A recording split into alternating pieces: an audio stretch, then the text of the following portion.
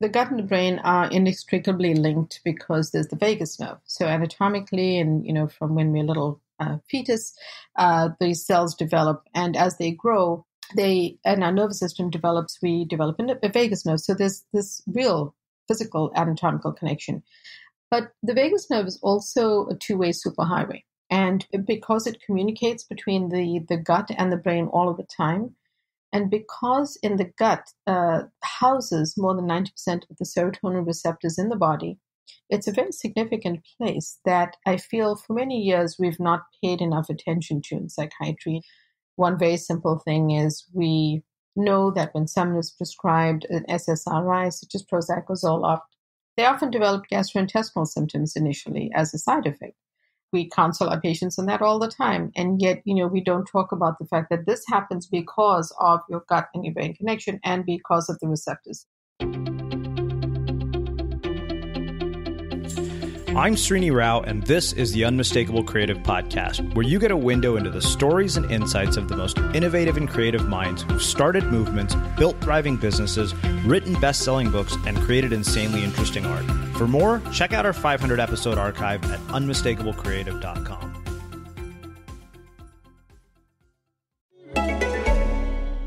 Introducing Peacock, the new free streaming service from NBC Universal. It's hit movies, current shows, live sports, trending bits, and timeless hits. And that's why you can't not watch. Peacock. Watch for free, upgrade for more. Stream now at peacocktv.com. Law and Order SVU streaming now.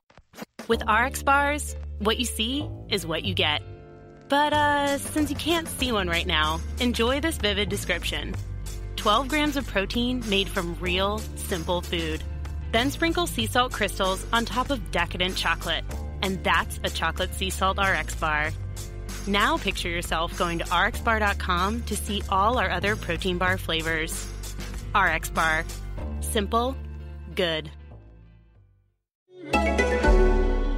Hey, a lot of people ask me which podcast I recommend, and one of those is The Jordan Harbinger Show. Recently, he had an episode with the author Gavin de Becker, and I've actually got Jordan here right now to tell us a little bit more about that. This was an interesting episode of the Jordan Harbinger show because Gavin de Becker is a legend. He was Oprah's security specialist. Now he's Jeff Bezos' security specialist. He is really in the know when it comes to how to hone our sixth sense for danger. And that's what we discussed on this episode of the show. We te- he taught us how to discover the he taught us how to spot the red flags that signify someone's a likely abuser, con artist, a predator, and how technology paired with human intuition, which we often ignore. Uh, your audience maybe pays more attention to their intuition, but a lot of us don't hone it down. Our human intuition can protect us from people who mean us harm. And he goes into explaining how that works with our quote unquote gut feeling and more. So this might sound a little bit scary because it's called The Gift of Fear, which is the title of Gavin's book, but this episode of the Jordan Harbinger show could actually literally save your life. Of course, you can find that episode linked in the show notes, and you can find the Jordan Harbinger show anywhere you get your podcasts. Uma, welcome to the Unmistakable Creative. Thanks so much for taking the time to join us.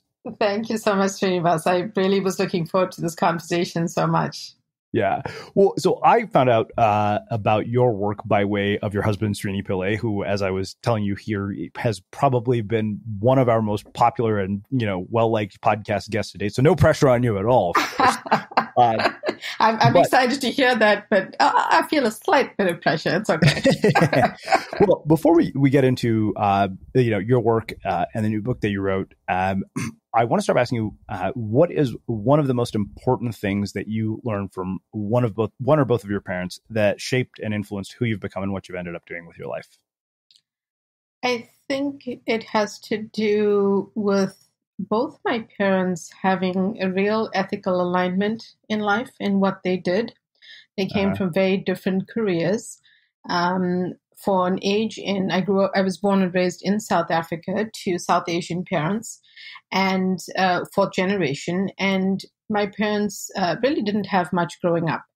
But despite that they really taught us some very important values in life. And those hold true for me today um, so, despite my mother being a double boarded physician and the only woman in her class in medical school at that time and, and age, um, she felt very strongly that you know medicine was not about being wealthy and making money. It really was about caring for patients and doing your best job My dad wanted to be educated beyond high school and didn't have the money to do so.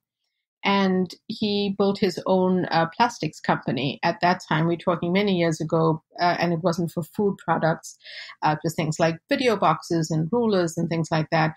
And he was always aligned with the clients he attracted. And he did not work, even though he didn't start off with much money in life, he did not work with people that he didn't like or didn't feel aligned with. So that has struck with, uh, has really stuck with me throughout my life. Yeah.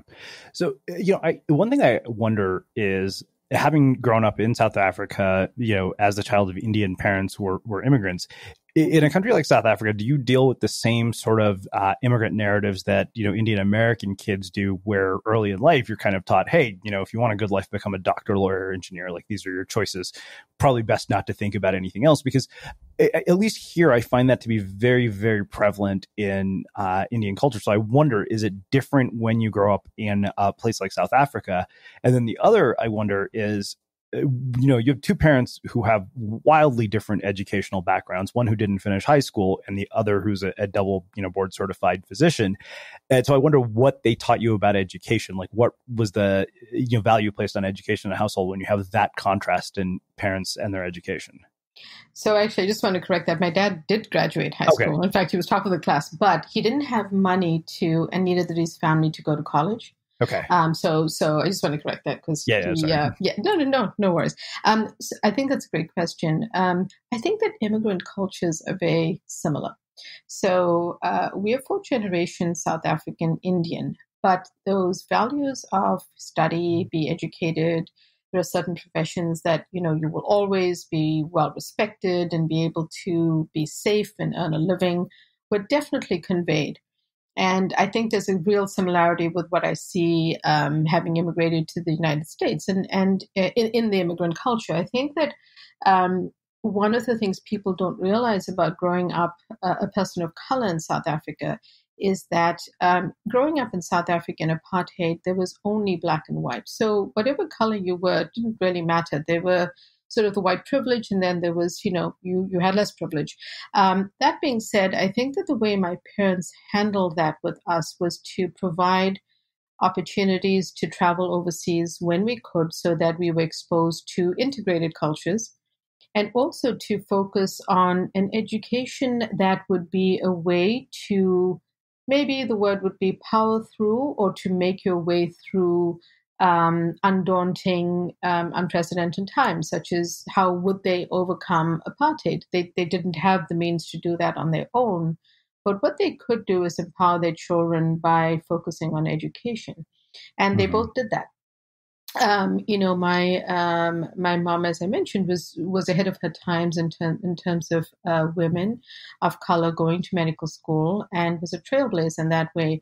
My dad, in a similar way, um, you know, was a trailblazer in the uh, business world because people would always say, well, you know, which, where did you study and how did you learn this? And he, you know, he was one of those people who really came from the school of hard knocks, as they call it. And uh, because he was smart, used that in a way to build a very successful business. So I think that the um, and yet even even Srinivas, when we when when my family had a little, we were a little bit more comfortable.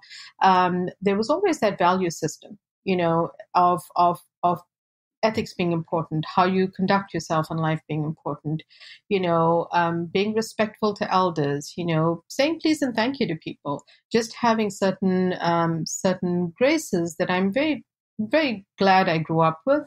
Um, and and I think that those were important to me. Um, the way that they they sort of encouraged us was not to say you, you can either do this or that. They focused on we really want you to do well and be educated. We want you to be happy. We want you to take the opportunities, and these are the opportunities we can provide.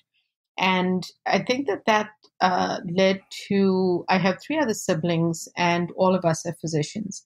And my dad was not the phys- the only non physician in the family. Would would joke and say, you know, all these doctors in the family and I have a small business and I make more money than them. But again, it was it was it was really funny. Not only was yeah. it true, but again, you know, every one of us was sort of aligned with a certain aspect of medicine that we loved. Me, uh, I was the psychiatrist in the family. We have a surgeon. We have a, uh, you know, uh, uh, uh cardiac. Uh, a new, nuclear medicine specialist. We have, you know, a, a, general practitioner who's super qualified. So it's, it's like this whole disparate bunch of of, of uh, doctors, but really aligned around. I feel what my parents raised us with. Hmm.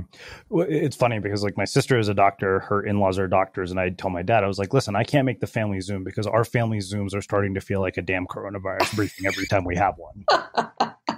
we try we try not to do that. We try, we really try not to do that. And although my father's late, you know, he would sit at the dinner table and just chuckle about the way yeah. we go on. But again, I, I, you're absolutely right. You know, we really try to make it about other stuff and just not hone in on all the medical uh, medical issues going on.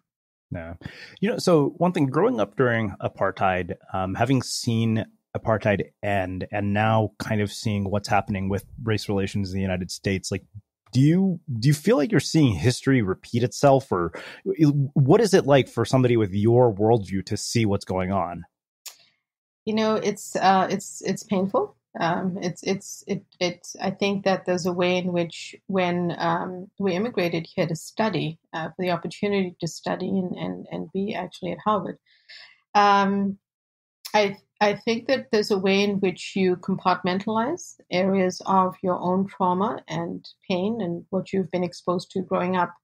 Um, and I think you try to be resilient and you focus on that. So this has brought up a lot of uncomfortable feelings. And um, I, I don't know that I have the breadth of understanding of uh, any country in the world to know that this is history repeating itself, having not been there at other times. Mm-hmm. But I know that it's painful, and and you know whatever small part mm-hmm. that I can do, um, I I try, and sometimes it's more privately done, but again, I think it's um, it's un- unfortunate. It's it's brought up a lot of that uh, for me as well, and I, I really see when people are hurting.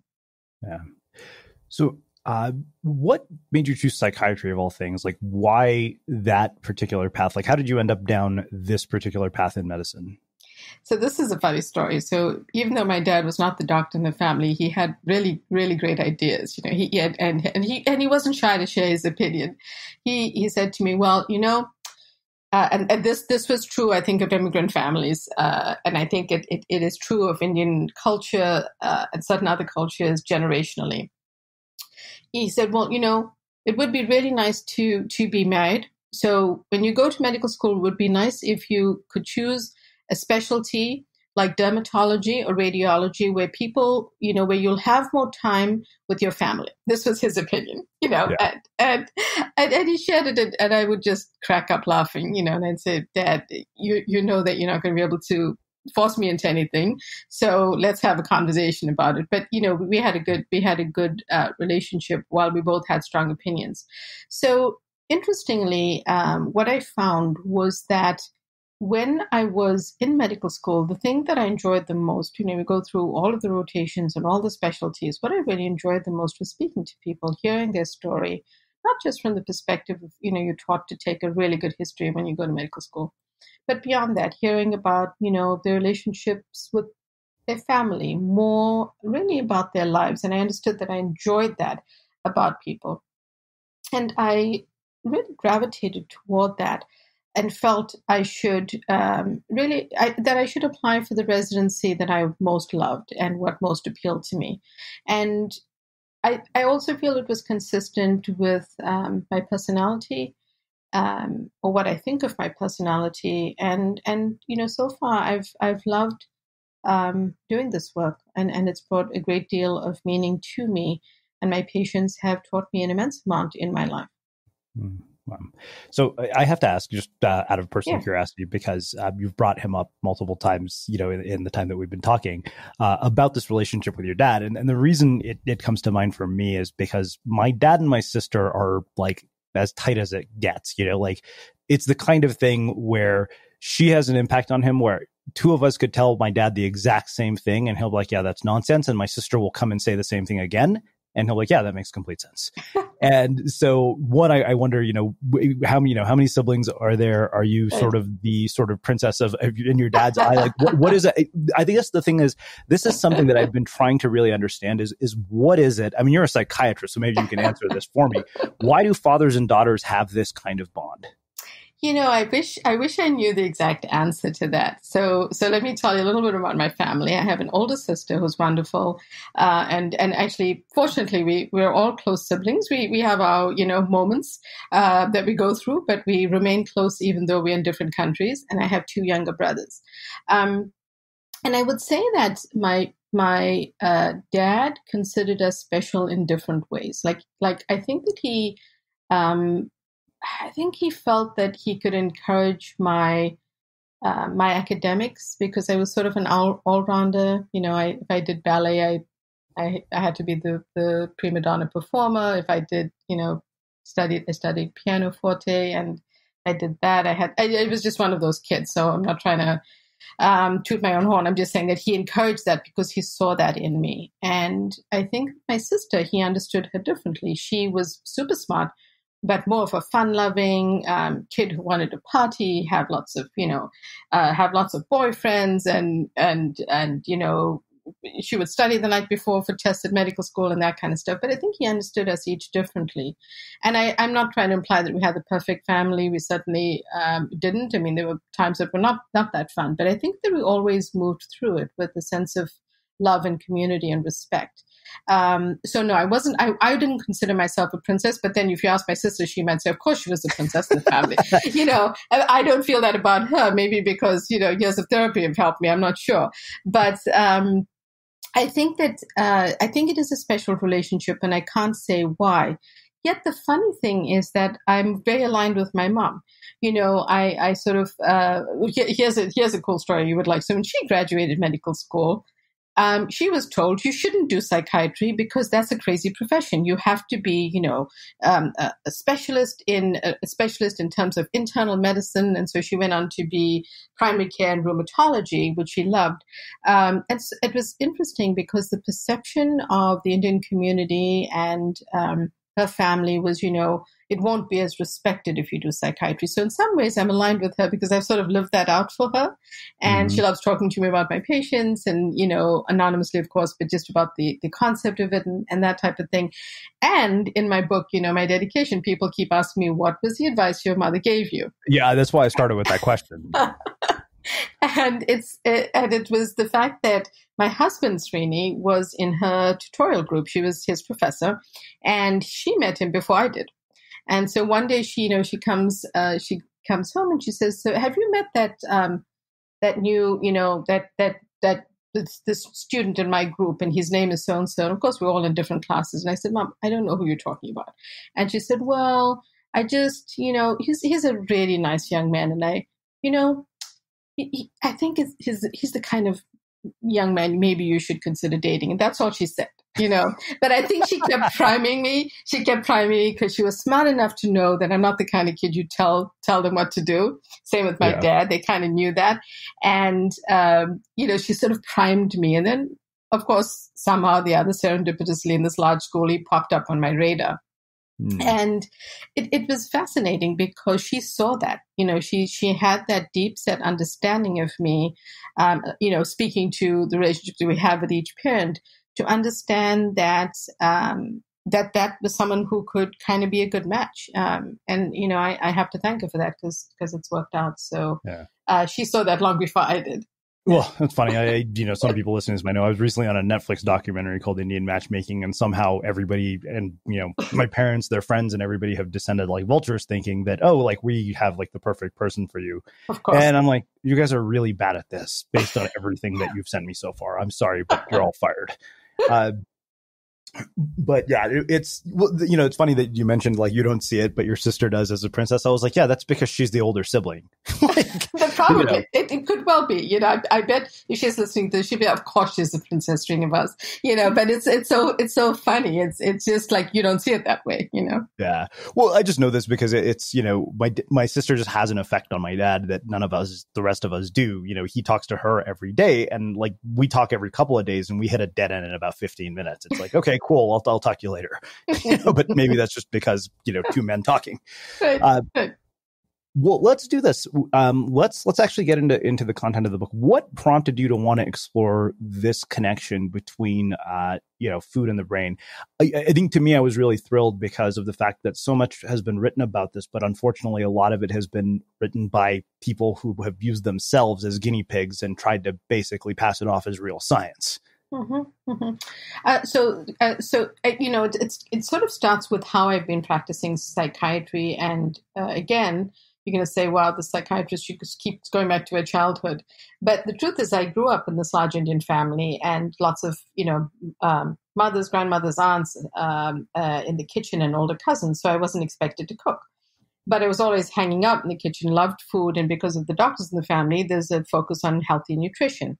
Um, so there was those, there were those elements. My mom knew that I loved science, so she taught me to bake. So the, the joke I share with everyone is when I did get married, um, my poor mother-in-law uh, thought, you know, she was an excellent cook, and and she was like, you know, my child is going to eat you know, cake every day. What am I going to do?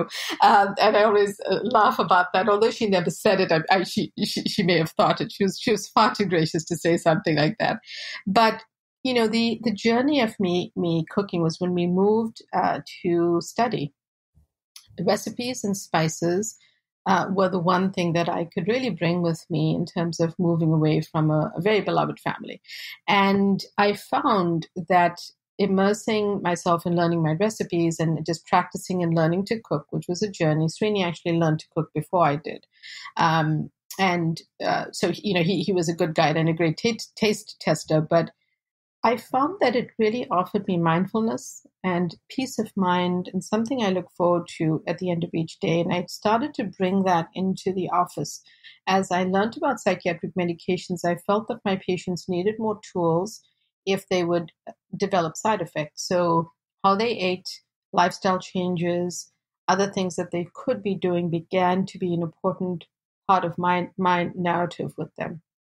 And as I learned more and studied more, it grew. Uh, and I, I, started to understand that there were these connections. Um, going to culinary school was a, was really a, a, a, that was a path of passion. Julia Child had been my food hero, and someone I watched on public television because we couldn't afford cable. Um, so, so in those days when I was cooking, I would watch her. I also realized she went to culinary school later in life and decided to follow that. I wish I could say to people that I had this grand plan and it would all come together, but it really happened organically.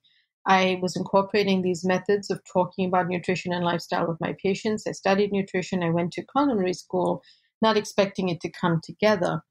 But as nutritional psychiatry developed as a more nascent field, I would say that we've been studying nutrients for decades. The mentors at the hospital where I work have been studying folate, methylfolate, omega-3 fatty acids for decades. But the words of you know nutrition and mental health and nutritional psychiatry came forward, and I had the opportunity um, with my mentors to start my own clinic. And and you know, this is a long way to say that the, the concept was developing throughout my career, and a very few, two very important things happened which accelerated its sort of emergence into the public eye. Um, some of the blogs that I was writing and, and, media that I was contributing to as I developed this um, be, kind of went viral. And because of that, um, an agent that my husband works with I had, you know, had a conversation and really they felt that this idea was ready ready to be born to the world and that it had developed and grown and there was there was science behind it enough that I was using that could be shared. And that's how the idea formed. If you had asked me 10 years ago I would have I would have said Srinivas I'm going to write a cookbook. I'm going to talk about my family recipes. Yeah. um, but you know sometimes it's it's the work you're doing and you're doing it every day and other people look in and say hey this is what you're doing could be of value to others. And it's not that I didn't value the work I was doing with my patients and what I was doing. It's more that I didn't see see it as a book concept, and that mm-hmm. really came forward um, with uh, with a, with a really wonderful agent and and you know a, a kind of an editor that I truly value who helped me refine that idea even further. It's time to upgrade to Awara, the organic luxury hybrid mattress made with natural foam and New Zealand wool fibre for maximum comfort and cooling. Rest easy knowing that every time you choose Awara, 10 trees will be planted to restore forests in Africa, and fruit trees will be donated to help local farmers get on the path to food security and financial stability. With free shipping and returns, plus a forever warranty, you can't go wrong. AWARA sleep.com and use code HEALTH for $350 off. Plus, we will plant 100 trees with your purchase. So, COVID 19 has made all of our lives super complicated. It's changed so much from the way that we live to the way that we work. And there's so much information coming at us every day between news briefings and online articles. And if you have a family like mine full of doctors, even family Zoom chats. So, figuring out what you're actually supposed to do in the workplace can be really overwhelming. Well, if you want to get safely back to work during COVID 19, there's an app for that. iAuditor by Safety Culture will help keep your coworkers and customers safe. It's a simple safety checklist and inspection app that anyone can learn within minutes. It allows you to do things like follow CDC guidelines, complete COVID 19 safety inspections, maintain an audit trail, and stay safe. There are hundreds of preloaded checklists available to download for free. iAuditor is the world's largest safety checklist app with more than 600 million checks completed per year. Visit safetyculture.com for your free checklist today. Again, visit safetyculture.com to download your free checklist today. Yeah. Well, before we get into to specifics, there's a story you tell at the beginning of the book about getting a cancer diagnosis, and um, the reason that struck me is because it seems to have happened when you were quite young, and so I, I always wonder when people face situations like that, what decisions you made about how you were going to live your life going forward from that experience. Um, it it was it wasn't when I was a child, so it was in my adult years. Uh, it, Yeah, it yeah, was, uh, uh, but you, you're right. It was you know uh, it wasn't immediate, and I think that um, you know when when you know the, the the medical when you know the medications that are chemotherapy, and you know the some of the the facts behind or the known science behind how these things develop, you I think it can be a little bit more scary. And I think that the way it changed me. Um, well, firstly, a diagnosis of cancer does change a person. You are never the same again. And one of the reasons is that you um, you live each day never knowing, and you have to figure out a way to manage that uh, in yourself and realize that the way to move through it is to move forward and to move forward with immense strength. And that's where sort of nutrition and understanding how my own body works and the things I should do, things I don't do well, um, the things I could do better, and the foods that I can eat make a difference. So th- those sort of fortify me in a way that make me feel less worried and less anxious, and really help me focus on the positive and and enjoying the moments that are. You know, so so when the pandemic hit and I had a book to to launch, I had to really uh, flip that that horrible thing on its on its side and say, well, there must be an opportunity to do this, so let's find it. And and it it I think it helped me change that uh, in in um, change my narrative, my internal narrative, to being much more positive and living in the moment rather than worrying and you know being concerned about something else. I really kind of got my priorities straighter after that. Uh huh. If that makes sense. Yeah, yeah, it does. I mean, you know, this is something I, I've always wondered. Yeah, you know, so two questions kind of arise from this, and in case you haven't noticed, every time you give me an answer, it leads to two more questions. Are you sure Uh, you're not a? Yeah, you sure you're not a psychiatrist? I mean, you, you, kind of- you guys no, trust little me, like I have way too many problems of my own to deal with other people's.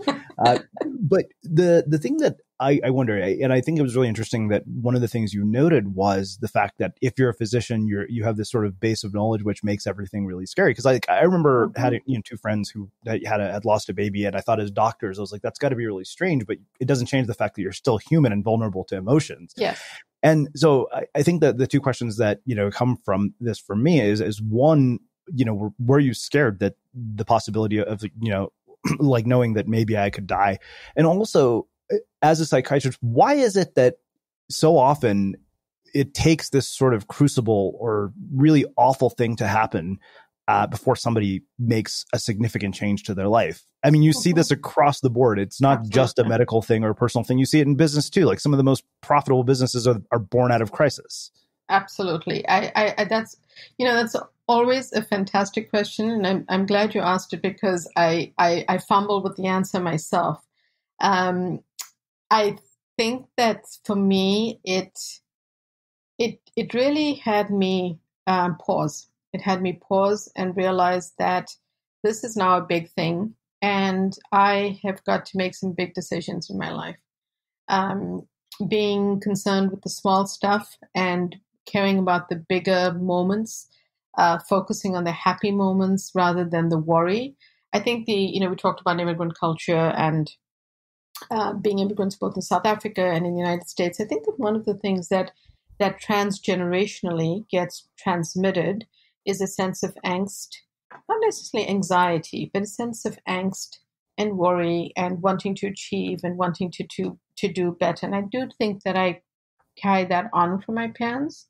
Um, and I, I think that I've really worked hard to be healthier about it because it had a place in their lives to to live through apartheid and raise an entire family during apartheid. So I, I've tried to work more on that for myself to make it positive. So I think for me, it was um, it, it, was it was the lightning rod that I needed at that point. Um, I don't think anyone needs cancer. I'm, I'm I'm not saying that, but but I do think it, it it was what happened in my life that that changed things.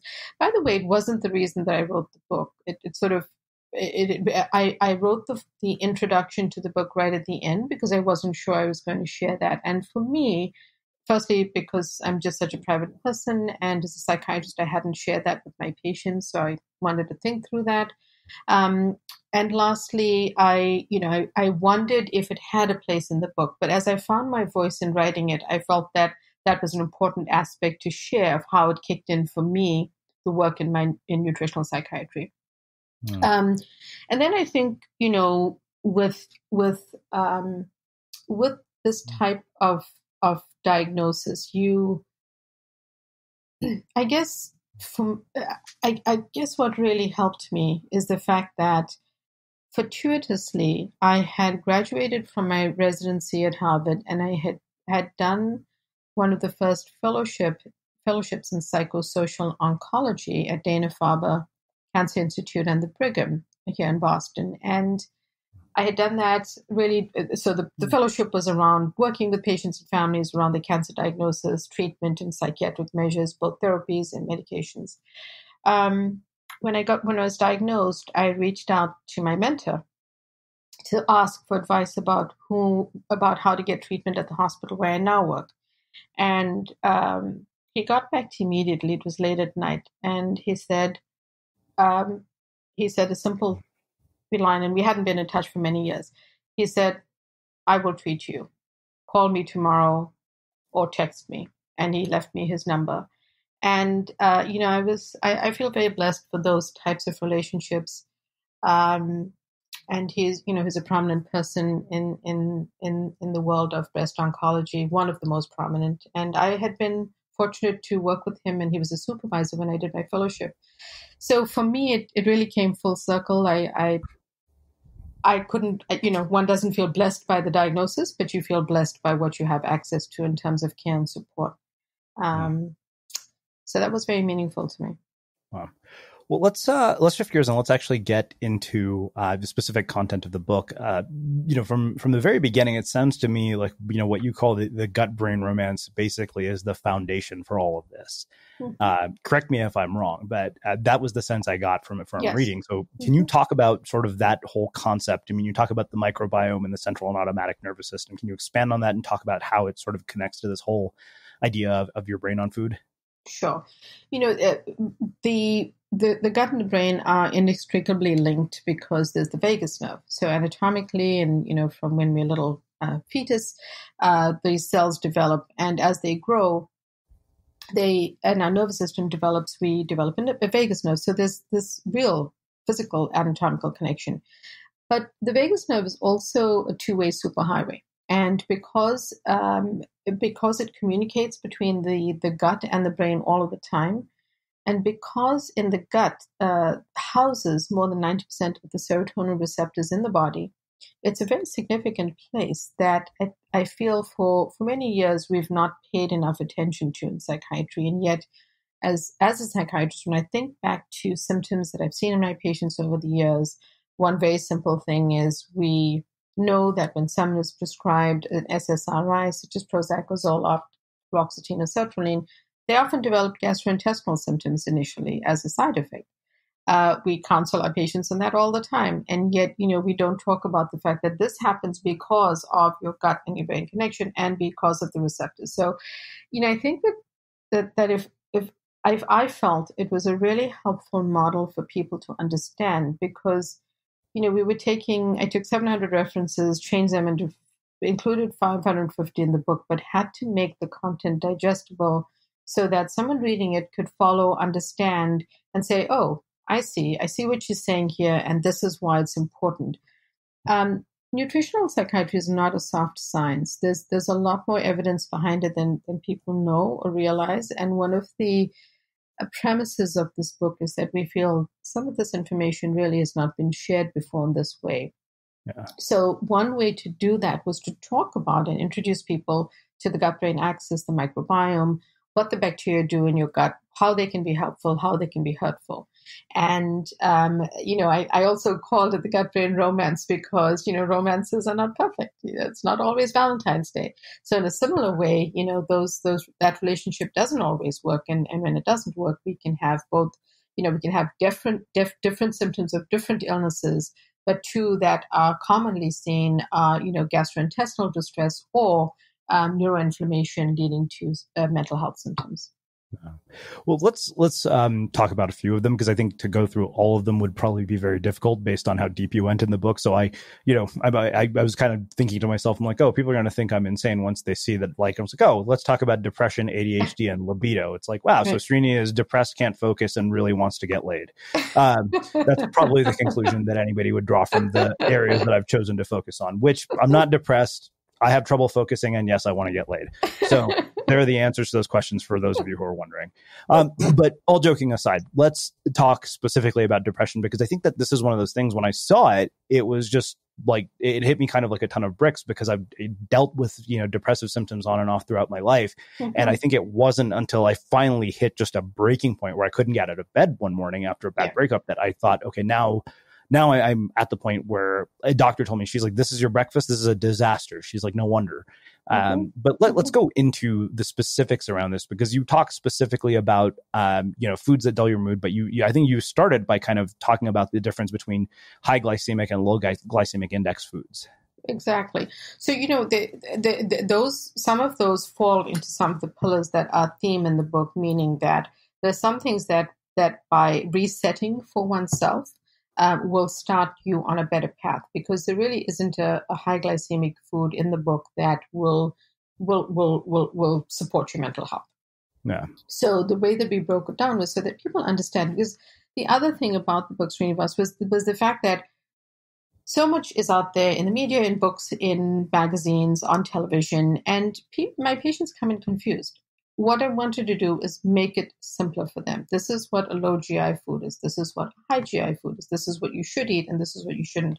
While it's not as simple as that, there are certain fine nuances. It's also important to understand some healthy eating eating building blocks for mental health, and some of them include the low low GI carbohydrates and low GI foods but also things like prebiotics and probiotics and what are those not just you know buzzwords or supplements they're actual foods that you can incorporate and um, and then you know it's the health it's spices that bring back uh, great nutrients to you like saffron which was a, which was a big surprise and turmeric which we know about uh, in many other realms of physical health but yeah. we didn't really know of in my, as much in mental health and of course the pinch of black pepper so you know omega-3 fatty acids many people have heard about over the course of time but here's here's the interesting thing omega-3 fatty acids have both seafood as well as plant-based sources and they also work for more than one condition. So it's beyond depression.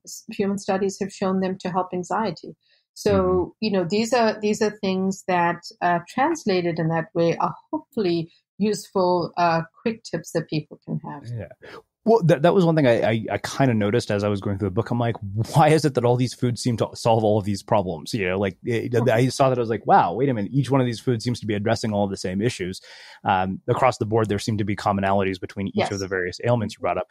Uh, you know, it, it's interesting to talk to somebody who's Indian about, you know, high glycemic index foods, seeing as to the fact that our entire diet is pretty much that. You know, like I remember I lived at home for a while and I remember I told my mom, I said, you know, mom, I, I think we should do a gluten free diet. And she basically made rotis. And I was like, these are terrible. And she was like, yeah, they're gluten free. What did you think was going to happen? um, so, you know, what I, I, wonder just for, for that, from that context, you know, how do you, how do you think about that? Um, mm-hmm. particularly when you know, come from a culture where, where, that has been sort of the default. Because like I remember we went to Costco the other day, and mm-hmm. you know mm-hmm. our roommate who cooks all our meals is gone for a week, mm-hmm. and you know the other roommate's like, "What are you going to get?" I was like, "Oh, those naans look good. I think I'm going to get those." Right, uh, exactly. Yeah. But the thing is, like, you know, we've been very good. Is there sort of like a balancing act, or eh, where do you draw the line here? And, and you know, what would eating in a way that like reduces depression symptoms look like? Sure. Uh, so producing depressive symptoms. So I think that the foods that you know. I, I, do want to address the, the cultural aspect of what you said. I think that the, it's helpful for people to know a few things that they should stay away from. Um, you know, we know that that highly highly sugared foods and baked goods and and you know uh, pantry staples and and baked goods that are on the shelf are not good for us because of the added sugars. But sugar actually affects the brain. It can affect your mentation, and even if you le- eat a sugary treat in the moment and feel good, the long term effect is what's bad for you, and it actually can affect cognition. It's been shown. So, yeah. a good reason for your brain to stay away from sugar the um, you know I think you you you just covered the high GI carbs.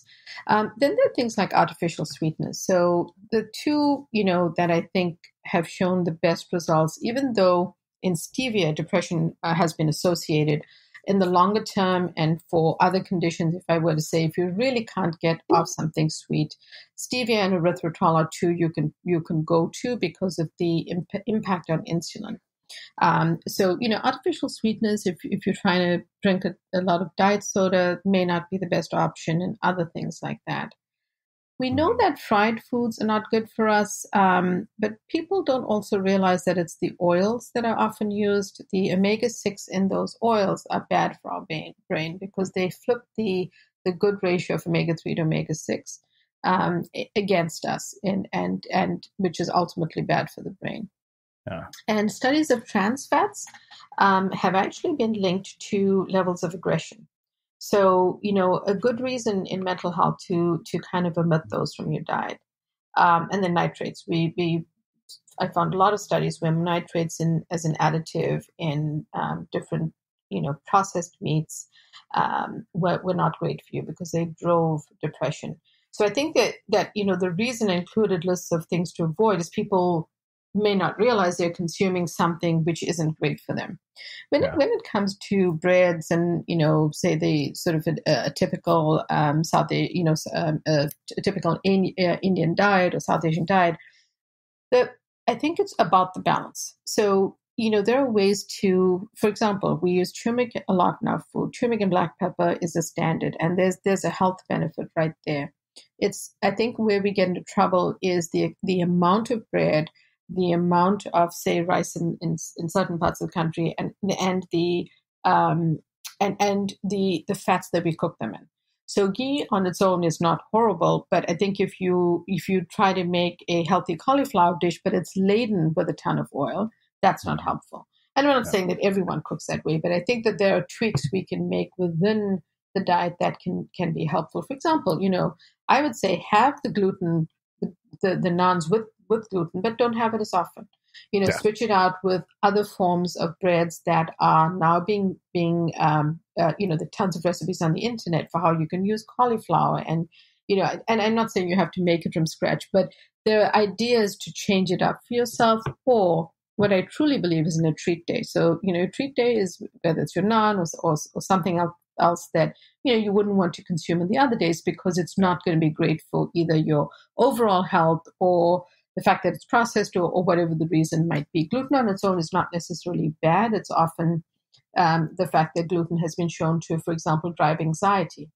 Mm-hmm. So if, if, if someone is eating bread, and we say a healthy source of bread, you know, if your mom is making it from scratch, I would say you're probably really on a good path there, but just don't have it as often. So sometimes right. it's the portion control. So, so you know, including so so not only being aware of those foods and then including some healthy kind of pillars that I talk about, the prebiotic and probiotic foods. Um, you know, things like eat the rainbow. And why do we say that? Because eat the rainbow, the colors of foods and the polyphenols and antioxidants in those bring back a ton of good nutrients to your brain. And in addition, you can only get fiber from fruits, vegetables, beans, nuts, seeds, legumes, and healthy whole grains. So even if you, you know, whatever your diet is or whatever your meal plan is, whether it has, you know, animal and, and um, uh, uh, seafoods in it, you can't get fiber from those. So, so uh, uh, to offset that, what you want to do is include those healthy fruits and vegetables, etc., to bring back fiber to your diet. And you know, it, it's about finding that balance, and then we go in, the, in, go into the specifics in the book, like which probiotics to try in foods. You know, my my whole um, my my whole uh, spirit of writing this book is eat the orange and skip the orange juice, which is you know you you're just not going to get the same value from the store bought orange juice. Um, no matter what the label says, because of the added sugars and very little fiber being left. But if you eat the orange, it's, you know, it's a great fruit. You're not eating a ton of them. It's great vitamin C. The fiber nutrients are right there. Hmm. Wow. Well, let's uh, let, us talk about the AD, ADD uh, components a, a, bit. It's funny because I'm just reading uh, Gabor Mate's book Scattered, and so it's been really mm-hmm. kind of mm-hmm. fascinating to see it from sort of the the personality standpoint, and now have justifications to my mother as to why I leave the cap off the toothpaste, and I'm never going to change that. but um, you know, I, I, think the this one in particular interested me for several reasons. One, because of the fact that you know this is a big issue for me personally. Um, it's something I've struggled with my entire life that went undiagnosed until I was like 30, and then mm. what I figured out was that there's this interesting sort of contrast in that if you're interested in something, you can focus on it for hours, and if you're not, then you could care less. And you know, you looked at it both from a food standpoint, but I'd also be curious to talk about it from a pharmaceutical standpoint because we have, you know, sort of like the modafinil stuff of the world, which I will openly admit I've experimented with. But the the so this is what I, yeah this is where I'm, I'm, curious, kind of like what's the role that food plays? What role do do pharmaceuticals play? Uh, and you know, how can we improve this? You know, the I think this is a great segue into something that I always like to share when I when I speak with um, individuals and and am interviewed. Um, it you know, food and nutritional strategies and nutritional psychiatry are alongside all other treatments. One does not, you know, uh, one they're meant to complement each other. They're not meant to replace one another. So if someone is, for example, severely depressed, suicidal, times when a person can't get out of bed, um, as you shared, I mean, those the, when when my patients feel that way, I, um, I I will include food as part of the treatment plan, but that's not first line. They may, in fact, at that point, need a medication may, in some instances, need hospitalization. Someone is manic or, you know, severe episode of bipolar disorder or psychotic and has lost touch with reality. Um, food can be part of their treatment plan, but it is not. You might have to do something much more serious and, um, you know, change, changing at that point, have them in an emergency room, have them be evaluated. So, that being said, I do think there's a place for medications in psychiatry, and I still do prescribe medications in certain instances. In ADHD uh, and ADD, it's one of the places that I think medications can, because they work so quickly and they uh, can be immediately helpful to someone. And you can often then see, wow, the person feels different, they can focus, they feel calmer um, they they not not as interested in you know say engaging in other um, other types of habits which may not be good for them, such as substance abuse. Um, uh, not just you know having an occasional glass of wine, but actually having problems with with with um, alcohol and drugs. So I do think there's a role for them. It much depends on the severity of the symptoms and how they present um, because we, we go back to the gut brain again, you know, because we, our gut, um, our microbiome is so, most of it is so hugely unique. Each person does respond differently. So I've had individuals who could work with me on a very solid nutritional psychiatry plan based on what they were eating, what their presentation was, and how they responded. And I've also had people who I work, um, you know, have worked with and feel that, you know, the, the, they can use these as complementary measures, but they still need a medication. And I think both work. Um, wh- you know what I what I'm always concerned about is that people become dependent on the medication, Mm-hmm.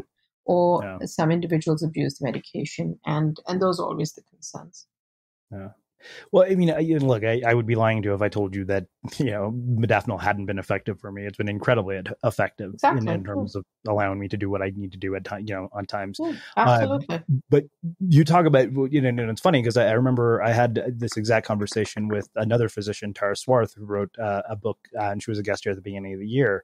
And we were talking about this, and it's one thing she had, you know, really hammered me on. She's like, okay, make sure you're drinking, you know, water every day. So like, if you were in my situation, if that was the case, like you're doing that, those two combos, like how would you balance it out with food to basically make sure you're getting a proper balance? Because I know that, you know, one of the things, even when you're going through the HD, we talked, you talked about caffeine quite a bit. I think that Mhm. pretty much anybody listening to this, with a few exceptions, their sort of default is a decent amount of coffee. And I, when I Mhm. saw, when you broke it down, I was like, oh, that's not good. Like I must be having way too much caffeine, more than I Right. realized. Exactly. So, so um, I, I think I think that's again a great question and one that I appreciate being answered because many people are doing both. They're not just using nutritional strategies. A good uh, percentage of the patients I see are on medications and trying to really enhance the effect. Um, I'm, I'm glad that that's helped your sense of focus, and if it makes helped you function, that's super important. Hydration is is very important. Hydration is important anyway in life. It's just something that you know does our body good, and water is is a simple thing that we can do irrespective of being on a medication or being on any type of diet. The other thing that we found was that uh, breakfast was really important. So sometimes medications that one takes, if they certainly if someone's taking it in the morning, people do not feel hungry. And uh, what we, what one of the things we looked at in terms of the research was that it was really important to start the day with something. So we created a smoothie in the book, and the reason we created the smoothie was that we looked at studies, and one of these studies that came up with some strong evidence offered a protein bar to the recipients in the study. But it was a protein bar made for the study, so we it wasn't something we could say to people, "Oh, you can you can buy it at you know the supermarket." Um, so we used the ingredients from that, and we broke it down and made it into a smoothie in the book. Um, and and we do think that starting with breakfast, well, being well hydrated, and, and have your cup of coffee. You know, th- Yeah. there's no harm done, but just don't have tons of it because you want to balance it out in other ways. So you know, we've given you some foods to foods to avoid, but including things like the um, polyphenols, you know, the antioxidants in certain foods, having um, rich sources of vitamin B and C in your diet, and then making sure you have the minerals that can actually be lacking and you can you you can certainly take a supplement but we also provide food lists in the book of things like um, zinc and potassium and magnesium of things that you can eat so just just sort of reworking your diet and you know maybe maybe thinking what can i do how can I, how many different colors of things can I put in my salad, and what good source of protein can I add to this as well? Yeah. Um, but then, uh, uh, you know, it's um, things like dairy. We, we we found some research on the um, A1 milk caseins. So it turns out that you can actually buy A2 milk in the supermarket, um, you know, and and the, these are options that are, are helpful for people to know. So the, the what's interesting is is like the I just want to make sure I'm coming to the right conclusion is that like the right diet because you're right you know if you take any of these medications you take a modafinil like you're like I want my coffee and I'm not feeling hungry until like Right. noon Yeah. and uh, you know the other thing the the thing that I wondered about because you brought up dairy is you know you talk about the fact that yogurt and granola could be great for stomach issues which you know I, I've had issues with IBS but on Mhm. and does this like fly in in contrast to that or does that still hold with the case of, of any sort of focus or adhd type symptoms So and it sounds like it basically the diet like starting with the smoothie you're talking about would actually enhance the effects of the modafinil Exactly. That and, and it's really intended. It's intended to be and showing the research that breakfast helped in, helped individuals with their focus. So it's it's intended to be. We know that the we understand that the medications can people help help people not feel hungry, and you know the flip side of that is some people think of it as a weight loss option, and which as a psychiatrist just becomes very problematic. Um, I know that wasn't the case with you, but but I'm just you know mentioning that. Um, so having breakfast, you know, having your coffee when you'd like, but making so make make sure you have something when you have your pull, or maybe even have something to eat and then have your pull, so that that way you you're not having that feeling of oh my god, I really don't feel like eating. It's it's it's it's in a situation like this, and I, I really love this question because it's sort of a live example of implementing all of these things, building up the diet, and then being wary of um, you know, things that stimulate your gut. So in your case, um, you know, f- uh, fiber-rich foods or um, the probiotics may actually be uncomfortable, and then your gastroenterologist may say, you know, even though you're trying to help these symptoms with your ADHD, these are things which are really making your gut worse. So that's where the plan becomes highly individualized for, for people. Um, and and where the functional component of, of the work that I do comes in because it's sort of finding the root cause. Someone who yeah. presented with panic a few years ago ended up having gut inflammation. And when we worked on anti inflammatory foods and a whole diet um, and a meal plan to improve her gut, the panic went away. Hmm. um, you know so so it's, it's, each person is i would say slightly different and in your case you know uh, those options for the pre and probiotics and um, fiber rich foods may not be the best depending on what your gastroenterologist says Interesting. Yeah. I mean, because I've been starting with, with yogurt and granola. And then when I read that, I thought, oh, I wonder if, if the smoothie you're talking about would be a better option. Right. And you could use, you know, if, if you if you like dairy, um, then mm. try the, your option would be to try A2 milk because, yeah. or goat's milk or sheep's milk because they, it doesn't have the A1 caseins yeah. that are actually shown to be uncomfortable. And then gluten as well, mm. unfortunately, came up in, in being problematic and, yeah. and sugar, you know. So sugar, uh, sugar unfortunately shows up everywhere.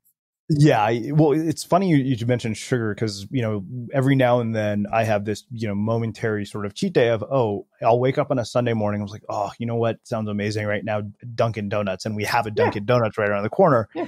and literally one hour after I eat it I just feel suddenly this crash mentally that I I was yeah. like oh why did I do this to myself? Uh, I was well, like we, this is we, definitely we, not going to help. I, no, I, I, I know the feeling. I've had the feeling. You know, we're big fans in Boston of Dunkin' Donuts. It started here, so so I hear what you say, and it, it, it has happened to one to to many of us on any given day. But it's exactly that feeling. It's like, hey, I really want that, you know, tasty treat of whatever it is, and um, and I'd encourage you just psychologically to call it a treat day, you know, and then mm. course correct at the at the next meal that you have. But yeah. it's that crash that none of us enjoy. Um, and you know, the the other thing you know, an ADHD, um, just just for you to be aware, you know, you mentioned going shopping and your roommate who cooks being away. The, the, the processed foods with the food colorings and additives and dyes and all of that are just not good for ADHD. So so maybe just thinking of you know uh, hummus and and crudité and you know snacks mm. that that are still whole foods um, and and better than you know the more processed uh, ideas. Right. Well, let's uh let's wrap this up by talking about libido. I realized that you know my, my, choices, as I said, were really bizarre as to which areas to cover. But I figured I was like, these might be the most universally relatable ones. I was like, you know, I can't focus. I want to have sex, um, you know, and I might not feel as happy as I want to be. I was like, yeah, you know, everybody probably to some degree has basically dealt with all three of them. Right. Um, I, you know, right. in the interest of time, actually, you know what? Let, us do two in the interest of time if we can do them quickly. The first one is insomnia and fatigue, and then let's do libido. Sure. So insomnia, my tip for that is um, to include, um, as you as you know, Srinivas, the long list in the book. But my, my tip is usually include melatonin-rich foods in your diet because you can have, and I say flip your breakfast uh, by having an omelet or frittata at night, eggs, um, certain fish, milk, and things like um, asparagus and broccoli all have melatonin. And I have a few tips about just, you know, have that in the evening. Start to get your body ready for sleep by having natural sources of melatonin. There are also some other foods in the book, including things like tart cherries, which it turns out you can, in fact, order online um, and make your own juice or have it as a snack. So, so those are just you know a few a few things. There are also ideas like having um, making overnight oats using rolled oats and adding in some walnut, sunflower seeds, and uh, flax seeds because those, in fact, are also rich in uh, melatonin. So perhaps it's something you can have in the evening, um, you know, to to to kind of help help your body get ready to rest and and start to to help you help yourself get ready to sleep. Hmm. Cool. Um, well, let's talk uh, about libido. Like I, I'd never made that connection. I was like, wow, is like the food you eat impacts your sex drive. I mean, I could see why it would, but right. you know, that's even more fascinating to me. I was like, okay, you know, how can you improve it with food? Exactly. So, you know, again, we have the, the foods to embrace and the foods to avoid, and things that, you know, showed up as positives with things like pistachios, um, things that uh, boosted, uh, you know, certain uh, hormone called oxytocin, like dark chocolate. So, dark chocolate, you know, uh, the darker the better. The flavonoids in dark chocolate are great for the brain, but it turned out they also help libido.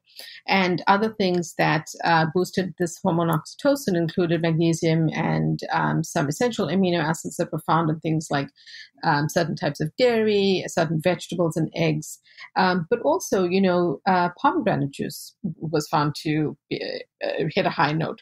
So I think that incorporating those foods, um, in fact, if you look at the food list, you can actually incorporate those things on the day you're going on a date. You know, you can you can save your glass of red wine for the for the dinner, but you can start your day with coffee. You can include these foods in different ways throughout the day, and you can start to do it more regularly if you know if, you, if you're struggling a little bit with your libido and yeah. some herbs and spices that helped with saffron and fenugreek so you know if, if you're cooking Srinivas, if you if you're upping your cooking game there you might want to make biryani with the saffron on top for your date the next time so that suddenly she's like why do i feel so aroused from eating your food exactly. great exactly. well i'm sure that's going to do wonders right my dating life um, so I had one one other question. You brought up dark chocolate, and it's mm-hmm. kind of funny because this is one of those ones that I wonder about. As somebody who has like a real sweet tooth, I've always justified an excuse to eat dark chocolate in the afternoon and go buy yeah. chocolate bars. Oh, Jim Kwik says this is brain food. Now you've given me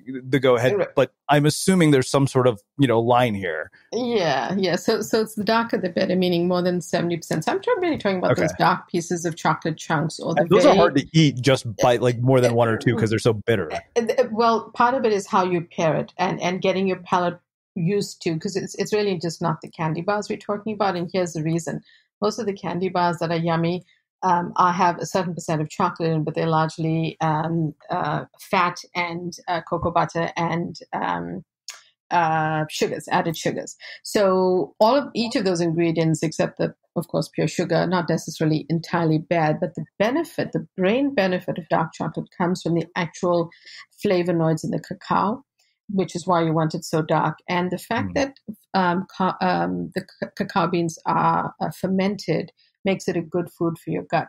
So there are many benefits of that dark chocolate. So what I like to do is if people are trying to get used to it, there's some newer brands that um, are sold at certain supermarkets which have, you know, a little bit of sweetening from say erythritol, um, but really not a ton of sugar. And it's kind of getting used to those. But also, how about, you know, starting to pair dark chocolate with strawberries or mm-hmm. dark chocolate with slices of citrus you know have the sweet from a natural fruit um, you know and and and try, try to get used to it that way um, and adding it into you know I have a recipe for dark chocolate dipped strawberries.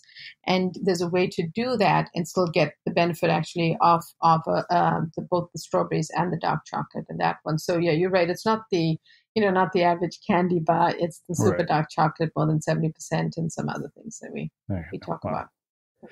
Wow. Um, well, this has been incredible. Like, there's so much in here. You know, like I said, I, I, just having to go through the book, I was just like, okay, this is like so much. There's no way we could cover all of this in an hour conversation. But um, I have one final question for you, which is how we finish all of our interviews here mm-hmm. at the mm-hmm. Unmistakable Creative. What do you think it is that makes somebody or something unmistakable? I think um, I think if they can true, I think that if a person can truly be themselves, they shine in their own light. And I think for each one of us, it's finding that sweet spot of overcoming the angst, the fear, the insecurities that we may have in different components in our lives, and stepping forth into being our true selves. Because I truly have seen that when people do that, um, there's just a light that shines from within that that uh, really cannot be um, cannot be taken away from them. So that's hmm. my that's what I think. Amazing. Well, I can't thank you enough for taking the time to join us and share your story and your wisdom and your insights with our listeners. Where can people find out more about you, uh, your work, the book, and everything else that you're up to? Uh, thanks, Viva. So the book is available at uh, you know major online retailers, and my um, handle on social media is at Dr. Uma Naidoo, which is at D R U M A N A I D O O. My book site is book.umanaidoomd.com. Uh, you can Google umanaidoomd.com. You'll get to my website. Um, and I wanted to thank you. I had a lovely conversation and um, just fascinated by your, your great questions, uh, the way that you thought about the book, and uh, had so much fun speaking to you. Likewise. And for everybody listening, we'll wrap the show with that. Thank you for listening to this episode of the Unmistakable Creative Podcast. While you were listening, were there any moments you found fascinating, inspiring, instructive, maybe even heartwarming? Can you think of anyone, a friend or a family member who would appreciate this moment? If so, take a second and share today's episode with that one person because good ideas and messages are meant to be shared. RX bars are the protein bars with core ingredients right on the front. But since you can't see them right now, picture this 12 grams of protein made with real, simple food. We have indulgent chocolate sea salt, rich peanut butter and chocolate, and tasty blueberry. But those are only a few. We've got thousands. No, just kidding. But with 16 flavors, there's plenty to choose from at rxbar.com. RX Bar. Simple, good.